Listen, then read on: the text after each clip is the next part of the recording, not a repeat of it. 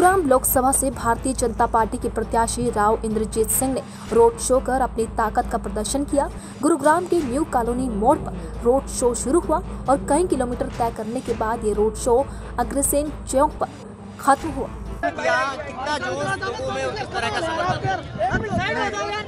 नहीं ये शक्ति प्रदर्शन नहीं था हमने वोट मांगी थी। बाज़ार के बीच के अंदर हमने रैली निकाल के सबसे वोट मांगी थी। काफला जुड़ता गया और ये रैला बन गया। तो आज मैं सभी का धन्यवाद कर रहा हूँ जिन्होंने इस तरह का रैला निकाला और मेरा मनोबल और मेरी पार्टी का मनोबल बढ़ाया। राहुल गांधी ने गुरु गुरुग्राम में रैली करी और उन्होंने एक बार फिर कहा कि चौकीदार चोर है। मेरे दो कान है पर मेरे को सुनता एक सही है। राहुल गांधी जी ने भाषण में कल कहा कि गुड़गांव की उद्योग धंधे बंद हुए हैं। पिछले पाँच वर्षो में भाजपा के शासनकाल में आपका क्या कहना गलत। एकदम सरासर गलत। एक बार फिर कहा कि चौकीदार चोर है। और गुड़गांव का चौकीदार नहीं है नरेंद्र मोदी अनिल अंबानी का चौकीदार है। देखो मैं अपने काम पे मेरी पार्टी के नाम पे मोदी पे मोदी जी के नाम पे वोट मांग रहा हूँ।